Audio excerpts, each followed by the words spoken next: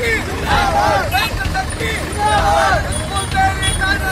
नहीं चलेगी नहीं चलेगी नहीं चलेगी नहीं चलेगी पूरी करो हमारी मांगे पूरी करो हमारी मांगे पूरी करो इसको तेरी ताना नहीं चलेगी नहीं चलेगी नहीं चलेगी नहीं चलेगी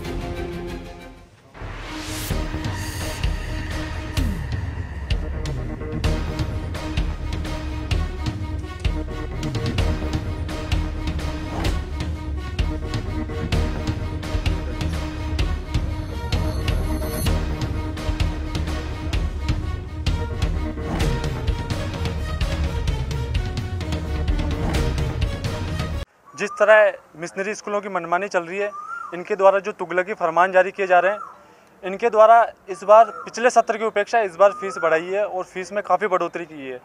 इन मिशनरी स्कूलों में अधिकतर मीडियम क्लास फैमिली से बच्चे पढ़ते हैं और मीडियम क्लास फैमिली की ये स्थिति होती है कि उन पर रोज़मर्रा की जो ज़रूरत की चीज़ें हैं, वो भी लाना बहुत दिक्कत की बात है और उसमें ये महँगाई के दौर में जो फ़ीस बढ़ोतरी करी है, उनमें उनकी कमर तोड़ गई।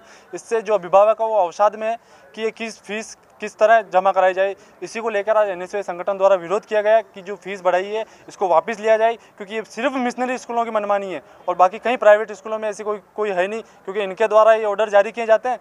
और इन ये ना ये हाई कोर्ट के नियमों को ना मानते हैं, ना ये सुप्रीम कोर्ट के नियमों को मानते हैं। अगर मिशनरी स्कूलों द्वारा ये फिर जो फ़ीस बढ़ाई है वापस नहीं ली गई तो एन संगठन द्वारा उग्र प्रदर्शन किया जाएगा। इसके लिए चाहे हमें सड़कों पर उतरना पड़े चाहे शैक्षणिक बंद का आह्वान करना पड़े या भूख हड़ताल पर बैठना पड़े इसके लिए एन का हर छात्र खड़ा है एन के साथ में। आज हम सेंट एंसलम स्कूल में आए थे।